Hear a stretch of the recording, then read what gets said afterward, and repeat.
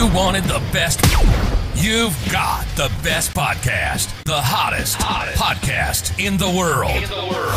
The Chris Voss Show, the preeminent podcast with guests so smart you may experience serious brain bleed. The CEOs, authors, thought leaders, visionaries, and motivators. Get ready, get ready. Strap yourself in. Keep your hands, arms, and legs inside the vehicle at all times, because you're about to go on a monster education roller coaster with your brain.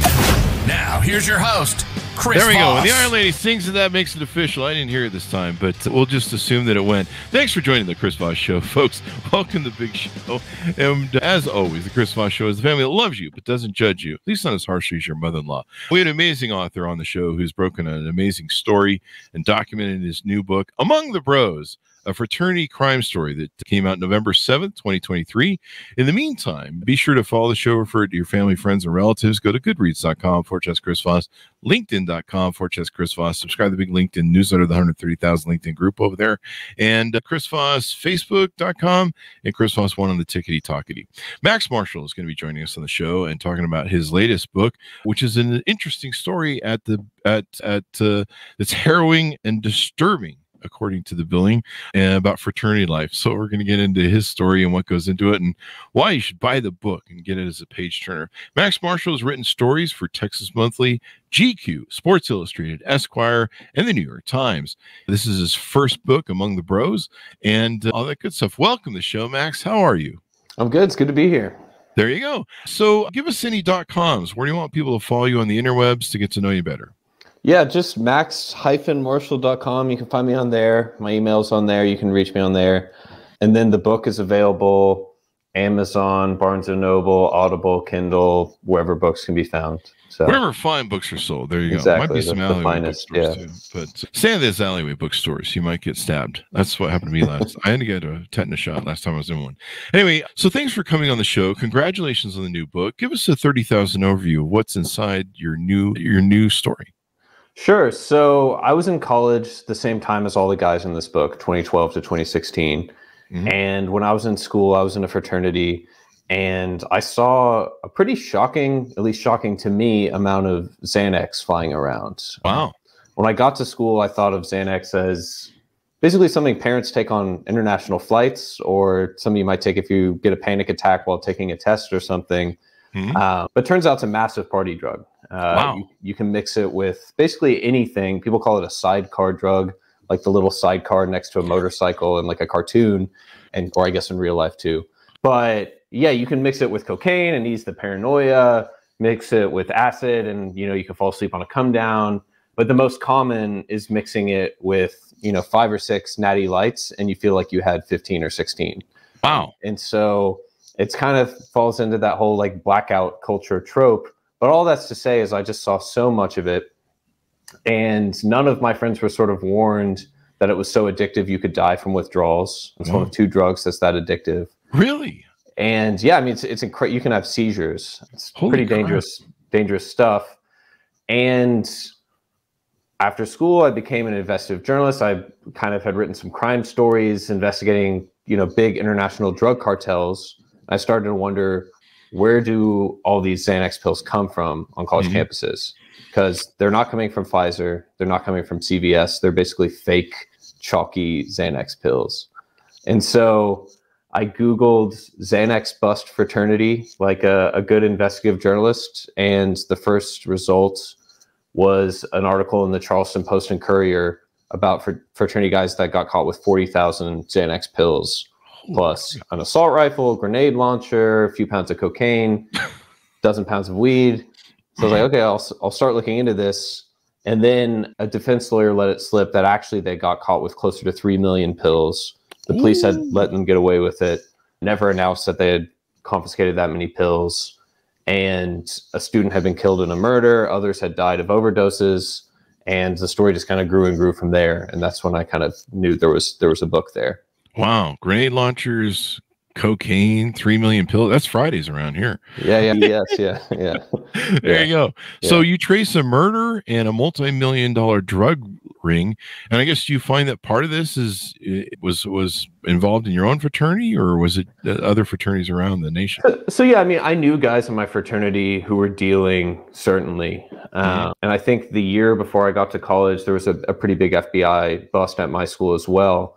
But yeah, something I found out kind of doing this reporting, and this is something that people knew all over the deep south. If you talk to guys at fraternities at Georgia, UNC, you know, Ole Miss, like the big Southern SEC schools, they all knew that the pills started at Charleston, and so wow. they would start there, and then these fraternities would use their pledges and basically ship the pills out, kind of through the fraternity system all over the U.S. Wow.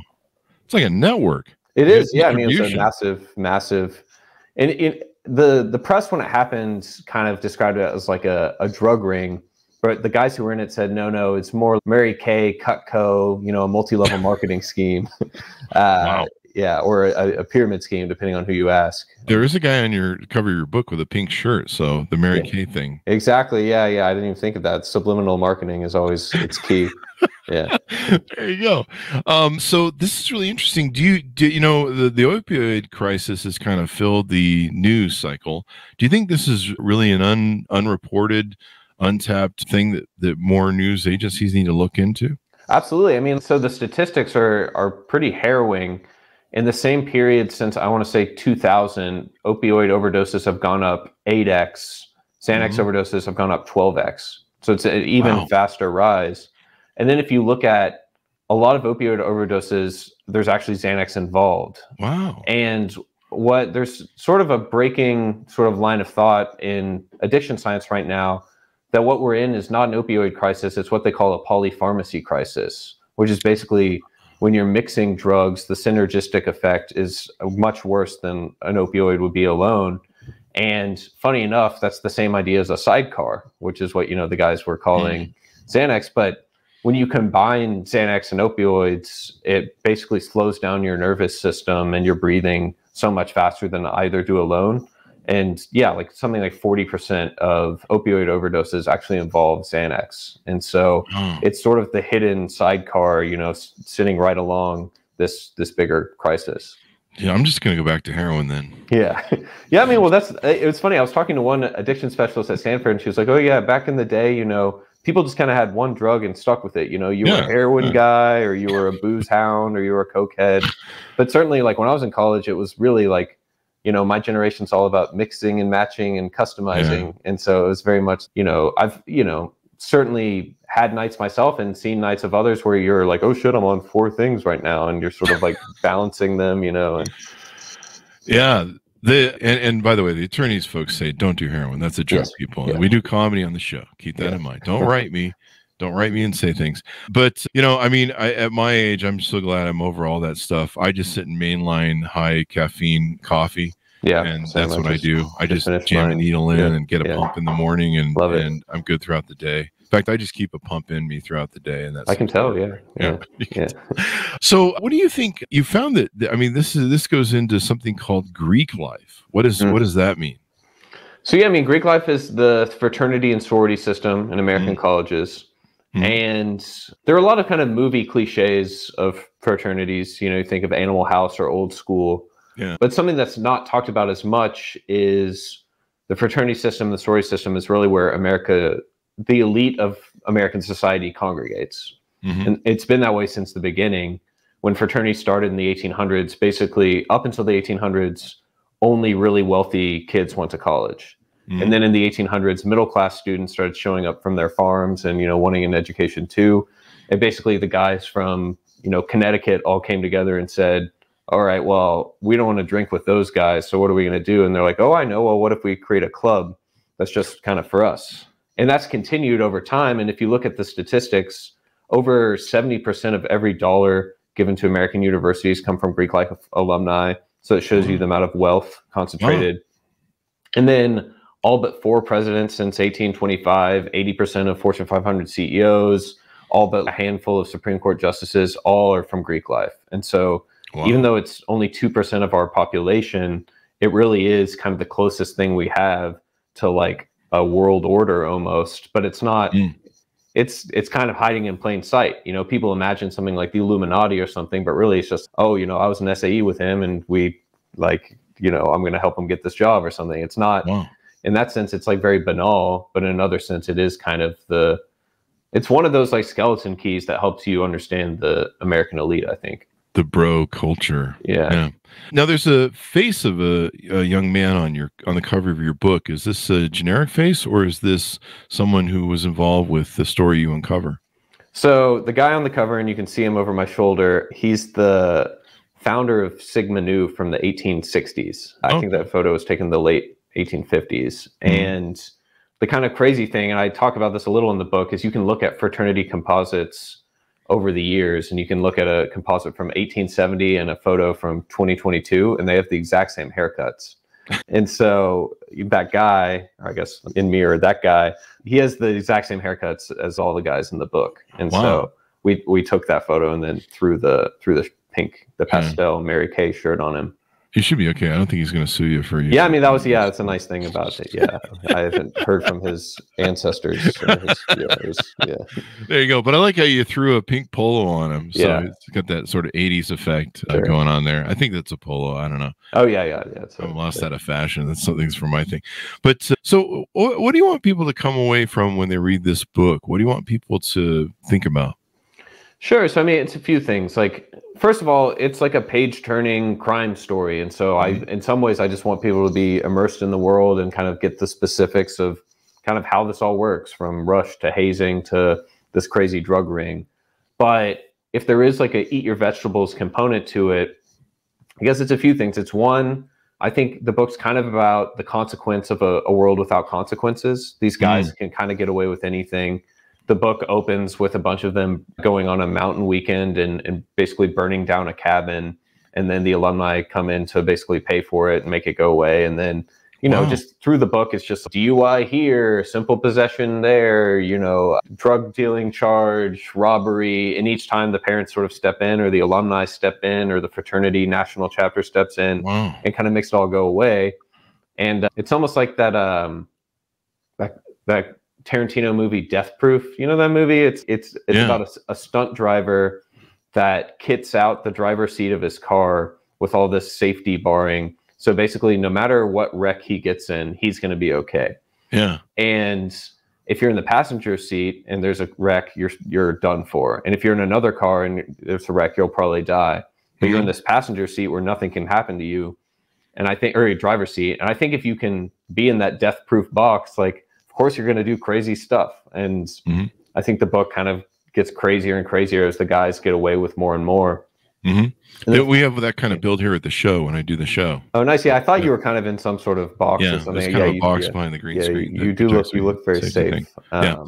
Mainly, it's to keep me contained. That's good, Uh, and there's it's it's pretty much a rubber room behind the green screen. But uh, I did hear some echo. they let Uh, me they let me know every now and then. They put nice. they just put the food underneath the cell door.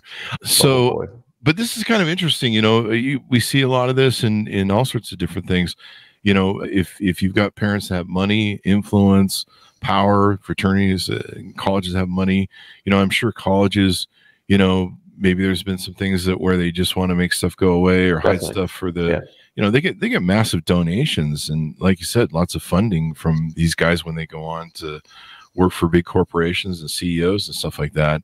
You've been kind of seeing the fight over that going on right now with the, you know, the Harvard definitely uh, president resigning, and I think there was another. I can't remember the other college where she resigned, and Yeah, I think it was Penn, maybe. yeah, yeah, Yeah.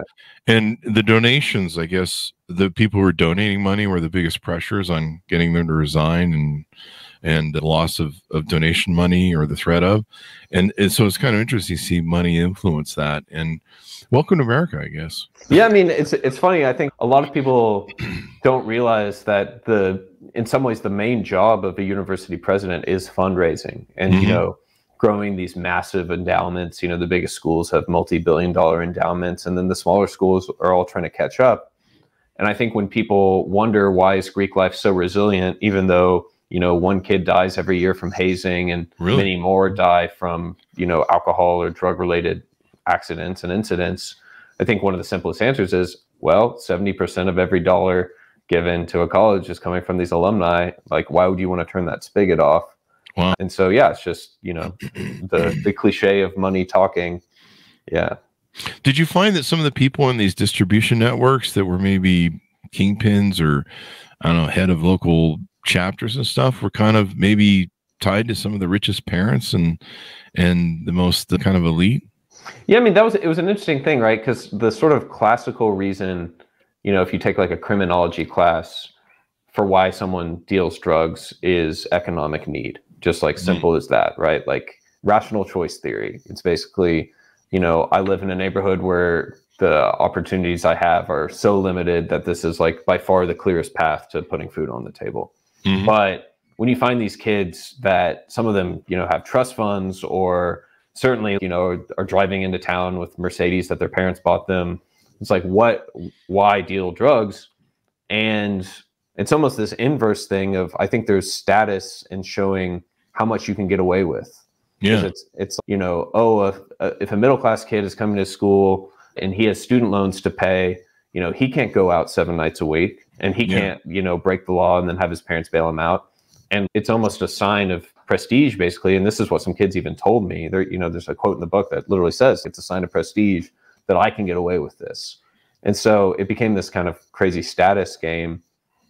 So I think that was part of it. And Yeah. I think an, another part of it is sort of like College of Charleston specifically has really, really wealthy kids coming from like Greenwich, Connecticut, Westchester, these like super wealthy New England suburbs, Northeast suburbs. Mhm. And if you're upper middle class and next to a literal Rockefeller or Rothschild, you might feel like, oh man, like I'm I'm broke. And so I need to, if I want to get bottle service this weekend, like I better figure something out. Yeah. Plus, you're trying to impress girls, Oh yeah, that's I mean that's know, so much of it. Yeah, chasing, getting laid, and stuff Yeah. like that in college. There's a little bit of that going on here. hundred Um, percent. yeah. Yeah. a little bit I of mean, the gender ratio at College of Charleston is something like three to one girls to guys, and so really. yeah. It's, Note it's- to self: go back to college. Yeah, yeah, so there you go. It's, those are good odds. I like that. The so I mean, this is and and when there's millions of dollars circulating around this, I mean, it's no chump change, right? I mean, No. it's, yeah, you can. I mean, you can basically pay for your college at the very least. yeah. Well, i i- one of the guys in the the story, he was a little older. He was a fraternity guy from South Carolina, and then he was in his late twenties, early thirties by the time everything got busted. Hmm. But he was the first guy in American history to have Bitcoin seized by the DEA. Oh wow! And if you look at the amount of Bitcoin he got seized with and then took it up to whatever it was, the 2021 or 22 peak, Mhm. he would have, I don't know, like $40 million or something. Holy Um, crap! so there was, yeah, I mean, there's very real money in this stuff. There you go. With Xanax, you know, I I never took Xanax. I never played with it. I mean, is there long term effects and damage that maybe some health effects that we need? You know, your your book warns about that. You know, it would seem if it can cause seizures and stuff that maybe there's maybe some long term effects of overuse of it. Definitely. So, I mean, the first thing to say is even though Xanax sometimes gets prescribed for everyday generalized anxiety, there's never been any hmm. study that's shown that it's effective in treating generalized anxiety. It's good for it's good for panic attacks and it's good for Wow. seizures. But if you just have that sort of ambient everyday anxiety, what it does is it basically calms you down completely. And then the next day, the anxiety comes back worse. And so that creates a very addictive cycle. And like I said, it's so addictive that you can die from withdrawals. And so that's That's crazy. the sort of main problem that it causes is just incredibly habit forming. And you need more and mm-hmm. more and more to kind of get to sort of zero. But then, yeah, there are long term cognitive effects ranging from sort of like paranoia, worse panic attacks than you've you know ever had before. But then, especially with the elderly, it causes a lot of dementia as well, and there's like Wow. mem- memory effects too, which I guess isn't that surprising because when you take Xanax, it often leads to blackouts, and so you know it, Yeah. it is definitely doing something up there in the the memory. Yeah. It'll be interesting to see the long term effects on it. You said, you know, different members of SCOTUS and people who work for the government. That might explain some SCOTUS rulings, actually. yeah, recently. yeah, for sure. Yeah, The, then it might explain the Citizens United ruling. definitely. Um, So- So yeah, this is really interesting. Do you do you find? Uh, I mean, this I guess kind of a dumb question. Did you find any feedback from colleges or fraternity associations that maybe you pinged for comment on the book? Yeah, I mean, you know, I reached out to all the fraternities for comment. None of them really wanted to talk. You know, they kind of would send back stuff from their lawyers. I do think there might be a bit of a, a Goodreads campaign from some of these fraternities to review Ah. bomb review bomb it. Oh, no. I, yeah, which you know, what are you going to do? But yeah, I the thing is, the drug ring is one thing. In terms of the hazing that I talk about in the book, and there's some pretty wild hazing. You know, there's a guy who gets waterboarded, and there's definitely some pretty Yeah. intense stuff in there. But it's all decently open secrets if you're in that world. Mhm. And something that's kind of funny about the fraternity world is, you know, it's known for this sort of cloak of secrecy. And when it comes to outsiders, there is a cloak of secrecy. You don't really talk about it. But then if you're inside the bubble, people won't shut up about it. Like I remember going back to Texas for Thanksgiving break, and all people would talk about is their craziest hazing stories because all of us were in fraternities, and it became this sort of, you know, dick measuring contest for Yeah. lack of a Yeah. better phrase. It probably took place in some hazing things. It some of the hazing things they do, man, are just Yeah, insane. crazy. And then the deaths kind of got out of hand there, and I think uh, colleges had to start clamping down on stuff. Yeah, It was just crazy. Of course, one of my favorite movies is Old School. Yeah. I think there's some hazing that goes on there. That's definitely, definitely, definitely. So there you go. So you go through this, you tell the story of it, and all that good stuff. Do you do you see? Is there any future storytelling you see coming up? Is there any future books you're working on? Yeah, so right now Sony's optioned this book as a film. It and would so, make a great film. Yeah. So yeah, and so yeah, talking to them about that. There's some interest for a documentary as well. Mhm. Um, I have a podcast coming out in a few weeks about something else entirely, and then yeah, getting back to figuring out book number two. There you go. There you go. Well, this has been really interesting. Give us a final pitch out to order the book to everybody in your dot com. Sure. So yeah, it's Among the Bros, a fraternity crime story. You can find it, as Chris said, wherever good books are sold: Amazon, Barnes and Noble, Audible, Kindle, kind of anywhere. And then my website's max-marshall.com. And yeah, my email's on there, and feel free to reach out. There you go. Thank you very much for coming on the show, Max. We really appreciate it. Yeah, yeah, I really enjoyed it. There you go. Thanks so much for tuning in. Order up where refined books are sold among the bros, a fraternity crime story that came out November 7th, 2023. Thanks so much for tuning in. Go to goodreads.com, forward slash Chris Voss, linkedin.com, forward slash Chris Voss, Chris Voss one on the TikTok, Chris Voss, facebook.com, and Chris Voss, youtube.com. Thanks for tuning in. Be good to each other. Stay safe. We'll see you guys next time. And that should have us